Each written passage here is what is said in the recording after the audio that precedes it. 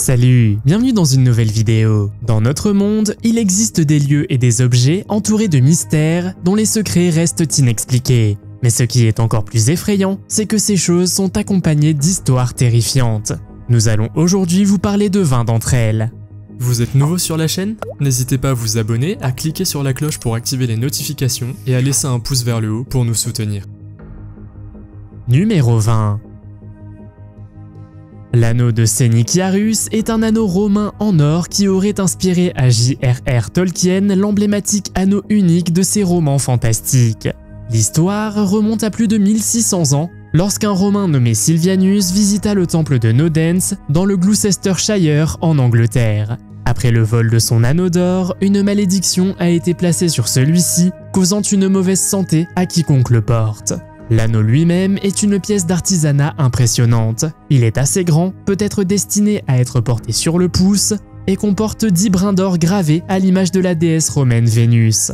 Le sort de l'anneau est resté inconnu pendant des siècles, jusqu'à ce qu'il soit découvert en 1785 dans un champ près de Silchester, en Angleterre. Cette histoire a donné à l'anneau une réputation sinistre, ce qui amène de nombreuses personnes à se demander s'il est prudent de le porter.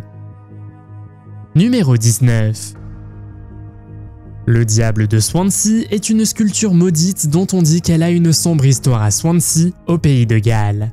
La sculpture, également connue sous le nom de Old Nick, est une sculpture en bois de 3 mètres de haut représentant le diable. Elle a été créée par un architecte dont les dessins étaient destinés à l'église Sainte-Marie. Selon la légende locale, le diable de Swansea est responsable de la destruction d'une église. L'histoire raconte que la sculpture a été placée dans l'église à la fin du 19e siècle et que peu de temps après, l'église a été frappée par la foudre et a brûlé. Cet incident a fait naître la croyance que la sculpture était maudite. Le diable de Swansea a gagné en notoriété et est devenu le sujet de mythes urbains et de folklore. On prétend que toute personne possédant ou entrant en contact avec la sculpture sera frappée par le malheur et la malchance. Certaines personnes affirment avoir vécu des événements étranges ou négatifs après avoir été en contact avec la sculpture. Le diable de Swansea se trouve aujourd'hui au musée de Swansea où il peut être vu par le public. Numéro 18 La poupée Okiku, également connue sous le nom de poupée hantée d'Hokkaido, est une poupée japonaise effrayante dont on dit qu'elle a des cheveux humains. Selon la légende, la poupée appartenait à l'origine à une jeune fille nommée Okiku. Elle est morte à un jeune âge et son esprit habiterait la poupée. L'aspect le plus étrange de la poupée Okiku est sa chevelure, dont on dit qu'elle pousse toute seule. Les cheveux de la poupée étaient à l'origine longs comme les épaules, mais ils continuent de pousser à une vitesse inexplicable. On dit qu'ils poussent jusqu'aux genoux, puis s'arrêtent, quelle que soit la fréquence à laquelle ils sont coupés. Certains pensent que les cheveux qui poussent sur la poupée sont en fait les propres cheveux de l'enfant. La poupée Okiku se trouve actuellement dans le temple Manenji à Iwamizawa City, Hokkaido, Japon. Elle est devenue une attraction populaire et a attiré l'attention internationale en raison de sa réputation effrayante. Les visiteurs sont autorisés à voir la poupée dans le temple, mais il est généralement interdit de la photographier. Numéro 17 Myrtle's Plantation est un manoir historique situé à Saint Francisville, en Louisiane, aux États-Unis, connu pour ses phénomènes surnaturels. L'une des plus célèbres légendes de Myrtle's Plantation tourne autour d'un miroir hanté.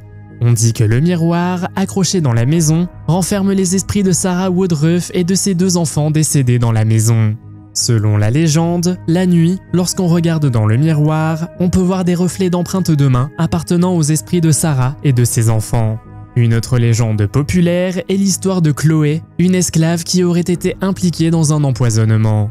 Chloé, qui aurait été la maîtresse du propriétaire de la plantation, aurait empoisonné un gâteau destiné à sa femme et à ses filles. Cependant, son plan a mal tourné et au lieu de les rendre malades, elles sont mortes. Le fantôme de Chloé continuerait à hanter la plantation aujourd'hui. D'autres événements paranormaux ont été signalés, des membres du personnel ont ressenti des points froids, ont entendu des voix désincarnées et ont vu des objets bouger. Numéro 16 Décrit comme une silhouette obscure vêtue d'un manteau sombre et d'un chapeau distinctif, l'homme au chapeau est devenu une figure importante du folklore de la paralysie du sommeil dans le monde entier. Les rencontres avec cet homme sont souvent rapportées pendant la phase de transition entre l'éveil et le sommeil lorsque les gens s'endorment ou se réveillent. Il est généralement représenté comme un personnage de grande taille, mesurant entre 1m80 et 1m90, et ses yeux peuvent être décrits comme étant d'un rouge vif ou d'une profonde obscurité. Certains récits mentionnent qu'il porte une montre à gousset en or, tandis que d'autres le décrivent comme une figure brumeuse. La seule constante cependant est sa tenue distinctive, un manteau ressemblant à un trench coat et un chapeau qui se démarque. Il est intéressant de noter que le comportement de l'homme est sensiblement différent de celui des autres démons associés à la paralysie du sommeil. Il est souvent représenté comme observant silencieusement la personne, se tenant dans un coin de la pièce ou planant au-dessus de sa poitrine. Ces apparitions ont conduit certains à l'associer aux ombres chinoises.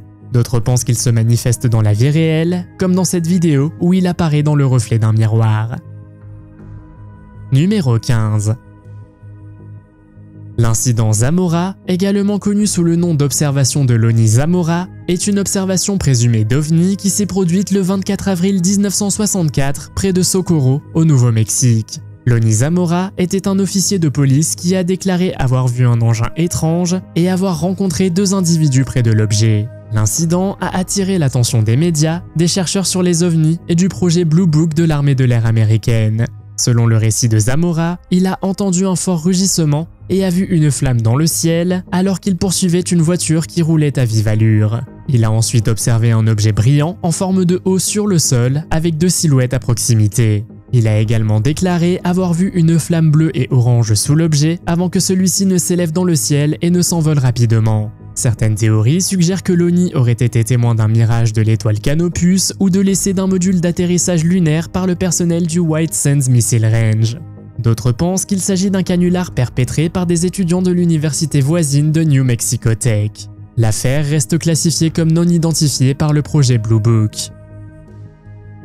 Numéro 14 la légende de la poupée Barbie hantée sur l'île de Pulau Ubin à Singapour raconte l'histoire d'une jeune Allemande qui a tragiquement perdu la vie et qui est restée sur l'île sous forme d'esprit. L'île est connue pour sa beauté naturelle et pour être l'un des derniers endroits de Singapour à avoir été épargné par le développement urbain. Sur cette île se dresse un sanctuaire jaune remarquable où les gens viennent prier et offrir des sacrifices pour avoir de la chance au jeu de hasard. Cependant, l'histoire remonte aux années 1910 lorsqu'une famille britannique résidait sur l'île. La famille avait une jeune fille qui, par peur, s'est enfuie dans la forêt dense pour échapper aux troupes britanniques qui approchaient. Elle a disparu dans l'obscurité et n'a jamais été revue. Elle a fini par être retrouvée et en guise de respect, des ouvriers ont recouvert son corps de sable et l'ont orné de fleurs. Des villageois ont par la suite rapporté avoir vu l'esprit de la jeune fille, perpétuant ainsi la légende de la jeune fille sans nom de Pulao Ubin. En son honneur, un sanctuaire a été érigé et des offrandes particulières ont été faites, notamment la poupée Barbie hantée. Numéro 13 L'incident du noyau démoniaque est un événement tragique de l'histoire de la physique nucléaire survenu au milieu du XXe siècle. Il s'agissait d'une masse sphérique de plutonium-239, légèrement plus grande qu'une balle de tennis, utilisée dans le cadre du projet Manhattan. Le 21 août 1945, le premier incident fatal s'est produit au laboratoire de Los Alamos au Nouveau-Mexique. Le physicien Harry Dalian a accidentellement laissé tomber une brique de carbure de tungstène sur le cœur du réacteur, entraînant une surcriticité du plutonium. Il a absorbé une salve de radiation qui l'a conduit à la mort 25 jours plus tard en raison d'une maladie aiguë des radiations. Moins d'un an plus tard, le physicien Louis Lotin a mené une expérience au laboratoire de Los Alamos avec le cœur et un réflecteur en beryllium. Alors qu'il séparait manuellement les deux côtés à l'aide d'un tournevis, celui-ci a glissé, provoquant un incident de criticité immédiate. Le cœur est devenu critique, libérant une salve de radiation. Louis a rapidement réagi, utilisant sa main pour séparer les deux, évitant ainsi une plus grande émission de radiation. Il a cependant reçu une dose mortelle de radiation au cours de l'opération. Numéro 12 Ayers Rock, également connu sous le nom d'Uluru, jouit d'une réputation mystérieuse en Australie. Ce monolithe de grès massif, situé au cœur du pays, a longtemps été considéré comme sacré par le peuple local Anangu, qui le considère comme un lieu spirituel.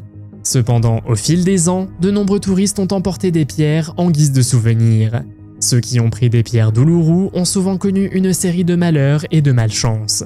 Par exemple, l'histoire d'un homme nommé Steve Hill qui a admis avoir volé un petit rocher, mais qu'il a ensuite rendu en raison des conséquences négatives qu'il a rencontrées.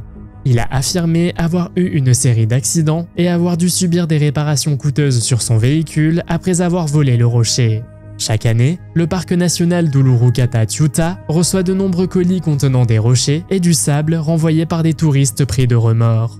Certains attendent depuis des années, voire des décennies, de rendre les souvenirs qu'ils ont volés.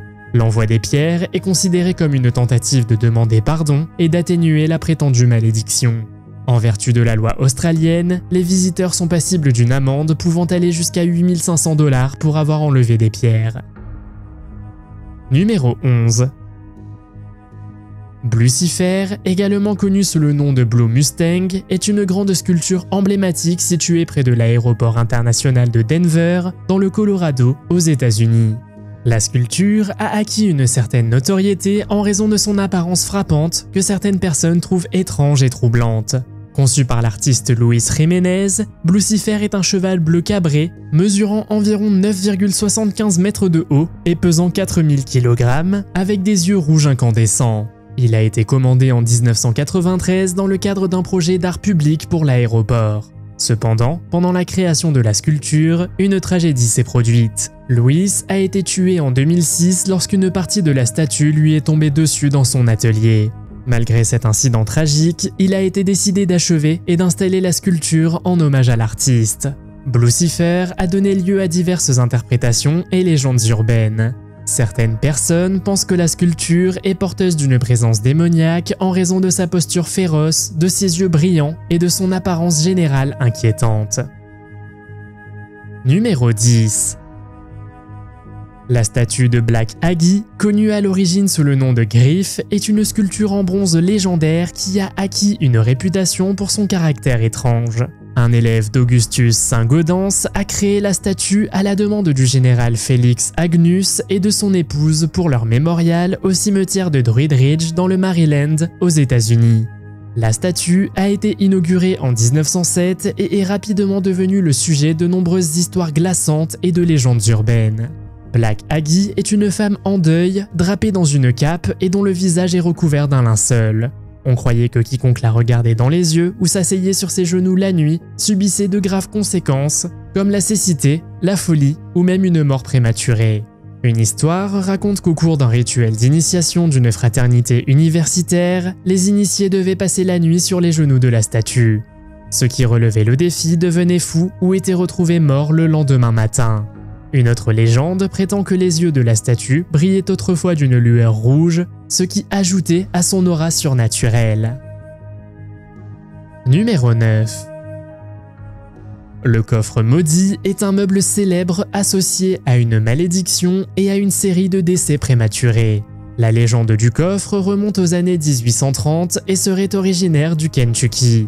Selon la légende, le coffre était fabriqué en bois d'acajou et a été impliqué dans un rituel de prestidigitation exécuté par des esclaves. On dit que la malédiction jetée sur le coffre a entraîné une série de tragédies.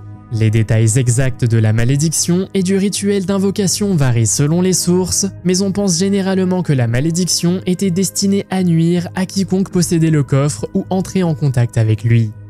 Au fil des années, le coffre aurait changé de propriétaire à plusieurs reprises, chaque nouveau propriétaire connaissant malheur et tragédie.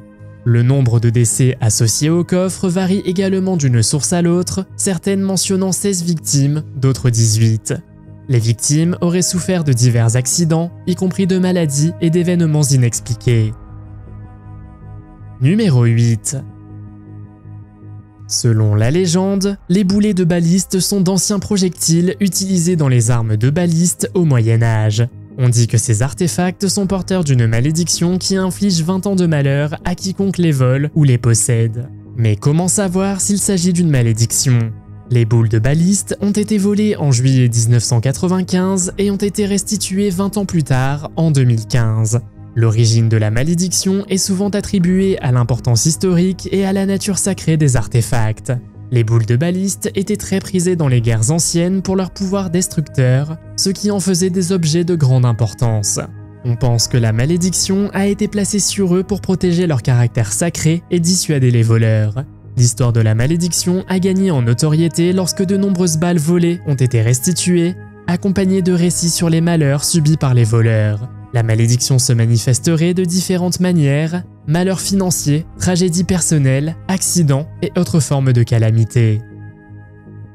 Numéro 7 la dame de Lemba a été découverte au milieu du 19e siècle dans le village de Lemba, situé sur l'île de Chypre. On pense que la statue date de la période chalcolithique, vers 3000 ans avant notre ère, ce qui en fait l'une des plus anciennes sculptures connues dans la région méditerranéenne.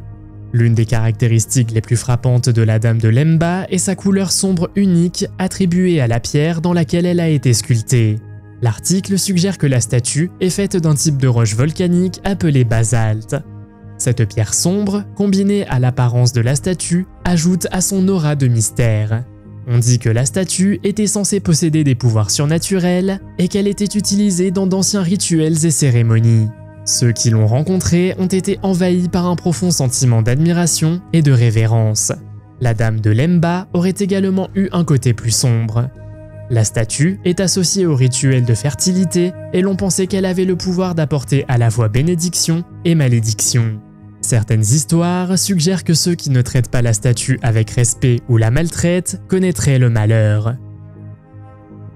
Numéro 6 ce remarquable diamant de 186 carats a une histoire qui traverse les siècles ainsi que les continents. Selon la croyance populaire, la malédiction du Koh-i-Noor vise spécifiquement les hommes qui osent le posséder. Originaire d'Asie, le diamant Koh-i-Noor était autrefois la propriété précieuse de plusieurs souverains qui lui attribuaient un immense pouvoir. Cependant, le voyage du diamant a pris une tournure sombre lorsqu'il s'est retrouvé en Grande-Bretagne par des moyens légaux douteux. Les légendes racontent que des rois et des conquérants ont connu une fin prématurée, une chute politique ou des tragédies personnelles après avoir possédé le diamant. La malédiction s'étendrait au-delà du porteur immédiat et affecterait toute sa lignée pendant des générations. Il est intéressant de noter que la malédiction semble épargner les femmes, puisque seules les femmes de la famille royale britannique ont porté le diamant depuis qu'il est entré en leur possession. Les reines Victoria, Alexandra, Marie et Elisabeth ont toutes choisi de se parer du diamant et chacune d'entre elles a subi de lourdes pertes au cours de son règne. Elles ont survécu à leur mari et ont eu la douleur d'enterrer leurs propres enfants, ce qui suggère que la malédiction du Koh-i-Noor a pu indirectement faire des ravages.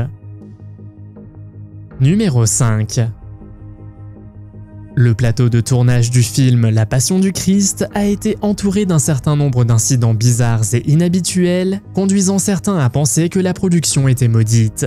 L'un des incidents les plus notables concerne la foudre. L'acteur principal Jim Caviezel, qui incarne Jésus dans le film, a affirmé avoir été frappé par la foudre non pas une mais deux fois lors du tournage de la scène du sermon sur la montagne. Un autre membre de l'équipe, John Michalini, aurait également été frappé par la foudre sur le plateau. Outre les foudres, d'autres accidents et blessures sont survenus pendant la production. Jim s'est déboîté l'épaule en portant la lourde croix utilisée dans le film. Il a également souffert de graves migraines parce qu'il a dû travailler avec un œil fermé pendant une longue période. En outre, les suites de la sortie du film ont semblé apporter de nouveaux défis à l'acteur. Il a affirmé avoir rencontré des difficultés dans sa carrière, avoir été mis à l'index par Hollywood et avoir vu ses opportunités diminuer. Numéro 4 La Pasqualita, également connue sous le nom de mannequin du cadavre de la mariée, est une exposition célèbre et étrange dans le magasin de mariage La Popular à Chihuahua, au Mexique. Le mannequin a acquis une certaine notoriété en raison de son apparence étonnamment réaliste et des rumeurs mystérieuses qui entourent son origine. Selon la légende locale, la Pasqualita ressemble fortement à la fille décédée du premier propriétaire du magasin. L'histoire raconte qu'elle a été créée dans les années 1930 par un artisan qualifié. On dit que l'aspect vivant et les traits d'un réalisme obsédant ont été obtenus en utilisant un cadavre humain préservé. La fille du propriétaire du magasin est décédée tragiquement le jour de son mariage. Accablé de chagrin, il aurait décidé de conserver le corps de sa fille et de l'exposer dans le magasin en guise d'hommage. Néanmoins, la légende de la Pasqualita a perduré au fil des ans, attirant les curieux et les touristes dans la boutique de mariage. Nombreux sont ceux qui sont fascinés par la ressemblance frappante du mannequin avec une personne vivante, avec ses yeux de verre et ses traits de visage réalistes. Numéro 3 le numéro de téléphone 0888 888 888 a acquis une certaine notoriété en tant que numéro de téléphone bulgare maudit en raison du destin malheureux de ses trois propriétaires consécutifs. Selon une légende urbaine, chacune des personnes à qui ce numéro a été attribué a connu une fin tragique en l'espace de 10 ans. Le premier propriétaire du numéro serait décédé d'un cancer en 2001. Ce décès est à l'origine de la réputation mystérieuse attachée à ce numéro de téléphone. Les deux propriétaires suivants du numéro étaient tous deux des caïds qui ont connu une fin violente. Le deuxième propriétaire aurait été abattu, ce qui ajoute au mystère entourant le numéro de téléphone. Les similitudes entre les deuxième et troisième propriétaires du numéro ont attiré l'attention et renforcé la légende grandissante. Beaucoup ont commencé à croire que le numéro lui-même possédait une force malveillante. Certains sont même allés jusqu'à suggérer que le numéro était maudit et qu'il réservait un sort funeste à quiconque osait l'utiliser. Numéro 2 De toutes les choses qui pourraient être hantées, une voiture n'est pas la première chose qui vient à l'esprit. La Dodge Coronet 330 Limited Edition 1964 Golden Eagle est devenue tristement célèbre en raison de son rôle présumé dans une série d'événements tragiques. Au fil des ans, de nombreux rapports et histoires ont circulé, suggérant que la voiture était responsable de la mort prématurée de ceux qui l'ont possédée ou qui sont entrés en contact avec elle. Au moins 14 personnes ont été victimes de cette voiture, ce qui en fait la voiture la plus hantée de tous les temps. Sur ces 14 incidents, 3 ont impliqué des officiers de police alors qu'ils étaient au volant. C'est la goutte d'eau qui a fait déborder le vase. En possession de la police, celle-ci a décidé de se débarrasser de la voiture et l'a donnée à une famille locale, les Allen. D'autres victimes ont été frappées par la foudre ou pire. On raconte également qu'un enfant aurait touché la voiture en 2008 et serait devenu fou par la suite. Numéro 1 le Donner Party est un groupe de pionniers qui s'est mis en route pour la Californie en 1846. Dirigé par George Donner et James F. Fried, le groupe était composé de plusieurs familles à la recherche d'une vie meilleure dans l'Ouest. Cependant, ils ont dû faire face à de nombreux défis et se sont finalement retrouvés bloqués dans les montagnes de la Sierra Nevada en raison d'une combinaison de mauvaises conditions météorologiques, de mauvaises décisions et de retard au cours de leur voyage. Les conditions hivernales difficiles et le manque de nourriture ont eu raison d'eux. Ils sont restés coincés dans les montagnes pendant des mois, endurant le froid extrême, la faim et la maladie. Alors que les réserves s'épuisaient et que l'espoir s'amenuisait, certains membres du groupe ont eu recours au cannibalisme pour survivre. Patty Reed était une jeune fille qui faisait partie du groupe d'honneur. Alors que le groupe était confronté à des circonstances désastreuses, la famille de Patty lui a demandé de se débarrasser de ses jouets afin d'alléger la charge et d'augmenter leurs chances de survie. Patty gardait secrètement une petite poupée de maison cachée dans sa jupe. Aujourd'hui, la poupée est exposée dans une vitrine au fort de Sutter, un monument historique situé à Sacramento, en Californie. Connaissez-vous une histoire effrayante? Faites-le moi savoir dans les commentaires. Si vous avez aimé cette vidéo, mettez un pouce en l'air. Si vous voulez voir d'autres vidéos que nous avons réalisées, cliquez sur l'une d'entre elles à l'écran ou jetez un coup d'œil à la chaîne. Merci d'avoir regardé et à la prochaine.